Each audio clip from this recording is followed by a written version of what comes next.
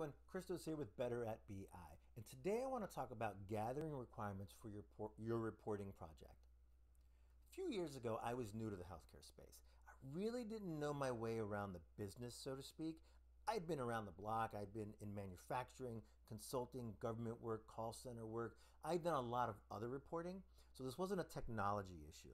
This was me not understanding what the healthcare business was uh, I had a lot of scope creep, and my customers weren't necessarily happy with what I was providing them. So I called a timeout. I said, okay, you know, I got to figure out what's going on here. So I did some research on systems and process improvement. Uh, I asked some questions. I, I interviewed some project managers and did a lot of digging around, and I came up with 12 questions. 12 questions that won't guarantee success and they won't totally eliminate scope creep but it will dramatically increase your effectiveness at delivering BI projects. Let's go. Number one, what is the clinical or business question that needs to be answered with this requested report? Many times, report requests are submitted by people who are second or third or fourth party participants in this, in this situation. Imagine a C suite meeting.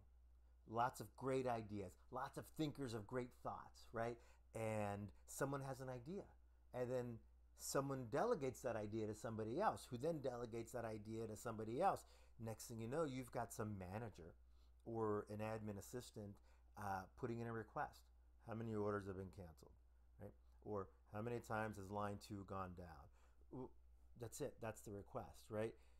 Uh, that's just one ingredient. That's just the symptom, if you will. That's that's the one ingredient in this big stew, right, of this project.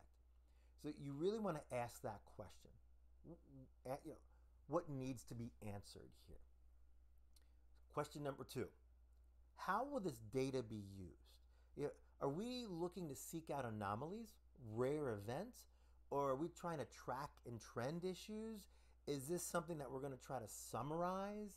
Uh, it's important to know this because this is going to guide your decision uh, into what tool you're going to use. Question number three.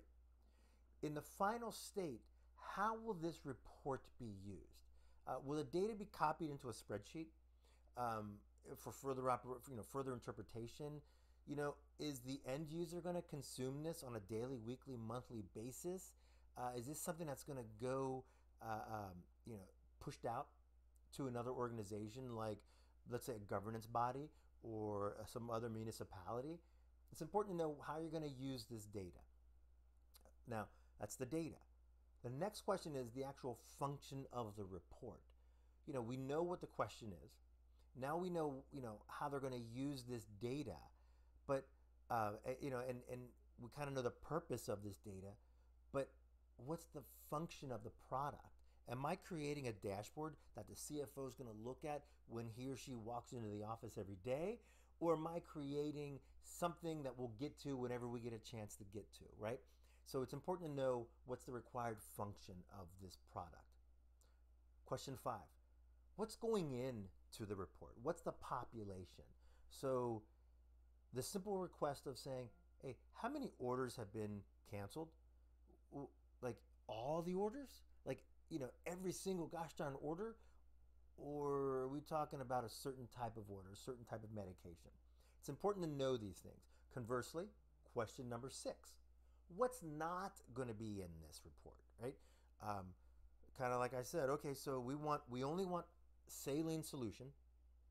Um, and we only want saline solution that was ordered, or I'm sorry, that was uh, uh, mixed between 3 and 6 a.m. because uh, the other stuff we just don't want to know about. Right now, that's what we're tracking. Okay, perfect. Question number seven What are the fields? What kind of what data do we need to go in there? If you're new to the industry or the organization, you really got to ask this question. Um, if you know your way around, you probably already have an idea of what goes in there, and so it wouldn't hurt to ask. Right? Do you need patient identifier? Do you need a certain medication number, or maybe in manufacturing? Do you need to know what parts are being used?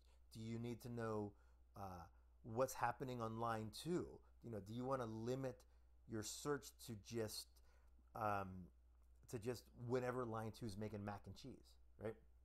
So you got to ask what's going to be, uh, you know, what fields are going to go in there. Um, how are we going to sort this report? Now, if we're talking dashboards, this is kind of an irrelevant question.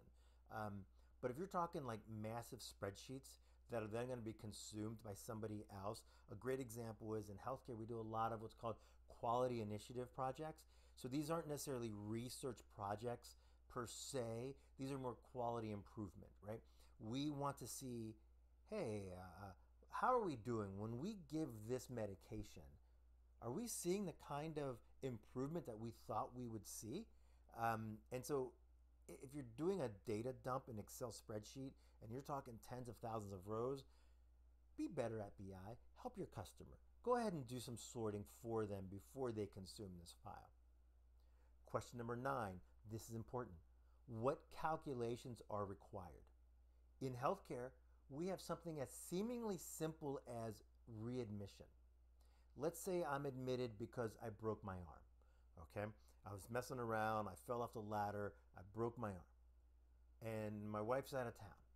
Let's say I have to catch an Uber to get home.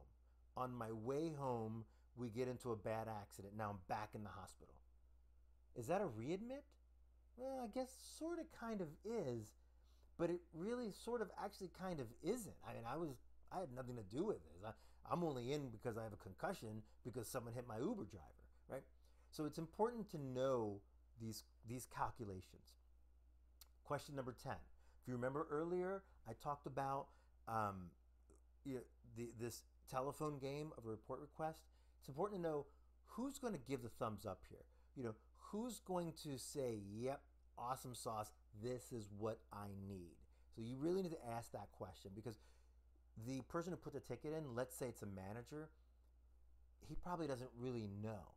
But at the same time, you don't want to skirt around and say, well, I'll just go to the CFO. Uh, follow your chain of command out of respect. Um, that being said, you got to know who's going to give the thumbs up. That was one of the things that drove the development of this of this list. Question number 11. How will this report be validated? If you've been around the block in your organization, you probably know how to check your data. But 11 or so years ago, I was brand new. I had no idea how to know what was right and what wasn't right. If you're a consultant or you're a contractor or you're working with a consultant or a contractor, you got to be able to tell him or her how to validate this data just to save you time. Finally, which individuals are going to receive this request or this report once it's completed? In many organizations, the people who control access to Tableau or Power BI are another group. So if you know that all the managers on the floor are going to need access to this report, you got to make sure all the managers have access. If they don't, you got to start the ticket process now. It's a little um, cumbersome to do that, but it's important because the last thing you want to do is say, report's ready. And then when the CFO gives out the report, no one can access it he or she will look a little embarrassed, which in turn, you know, you know what rolls down the hill. Uh, you don't want to be catching that thing that just rolled downhill, right? So again, 12 questions. I'm going to post these on my website. I'm going to post these below and put them on my website at Better at BI. But again, this is Christos, Better at BI. I hope this was helpful. Um, I hope this helped you not as a BI analyst, but also as the consumer. Um, if you like what I've had to say, please hit like. Um, if you're interested in more of these types of things, uh, go ahead and subscribe to my channel. But otherwise, leave a comment. Uh, I appreciate it. Thank you. Christos, again, is Christos better at BI.